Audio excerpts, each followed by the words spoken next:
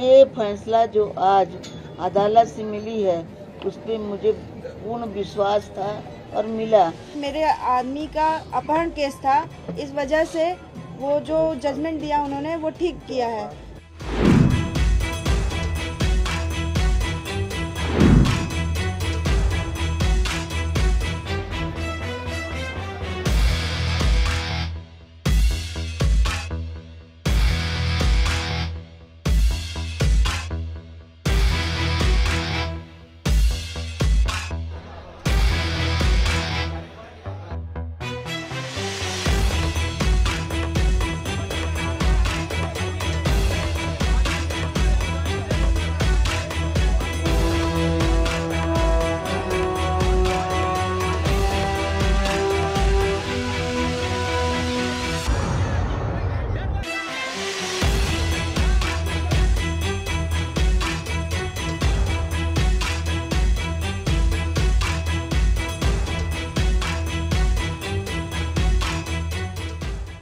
दो साल राज्यपाल का लड़े।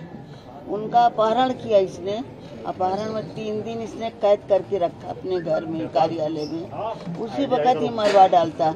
लेकिन उस समय उसके साथ ये कॉलेज के लड़के और सब काफ़ी चिल्लाने, इसने ज़िंदा छोड़ दिया।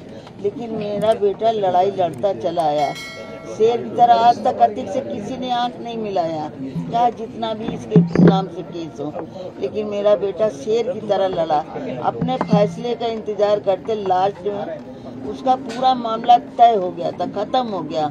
उसको ये उम्मीद थी कि अब मेरा फैसला फुर्सत, इसको सजा मिलेगी। तब मेरे बेटे को इसने 16-17 साल बाद मर्डर करा दिया। ये फैसला जो आज अदालत से मिली है उस पर मुझे पूर्ण विश्वास था और मिला। लेकिन ये उसका अपहरण केस का है। उसके बाद मेरे बेटे का अपहरण न सुनने दिया, न देखने दिया, उसका मर्डर हो गया। तो अब मेरा यही निवेदन है कि अपहरण केस में इसको आजीवन कारावास हुआ है, लेकिन बाद में मेरे बेटे का मर्डर हुआ। मेरा बेटा कलम की लड़ाई लड़ता था बम गोली की नहीं लड़ता था। इसलिए कलम की लड़ाई को उल्लंघन करके काले कोट खाकी वर्दी की बेज्जती कर दी। इसलिए मेरा यही निवेदन है, जो भी अदालत फैसला दे, मैं मुझे मुख्यमंत्री जी के ऊपर विश्वास है कि मेरे बेटे का मर्डर का इनको फांसी की सजा सुनाए। ये तो मेरे बेटे का अपहरण का केस था। लेकिन मेरे बेटे का मर्डर हो गया साथ में दो। मेरे उनके सुरक्षा कर्मी थे। तो बताइए जब इन्होंने काली कोट और खाकी वर्दी का इज़्ज़त नहीं किया, उनको मार डाली, उनके वर्दी पे कीचड़ मारा तो आगे ये हम पब्लिक को क्या छोड़ेंगे? इसलिए मेरा मुख्यमंत्री से ही विनती है कि इनको अब फांसी दिया जाए अच्छा अब, अब सजा हो गई है। अब लगता है कि उमेश जी की आत्मा को शांति मिलेगी? देखिए ये तो उसका अपहरण में लड़ रहा था शेर की तरह।